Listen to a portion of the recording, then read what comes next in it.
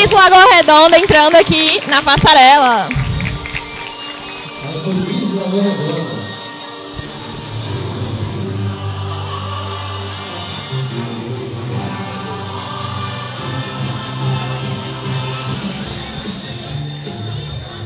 Uma de palmas, então.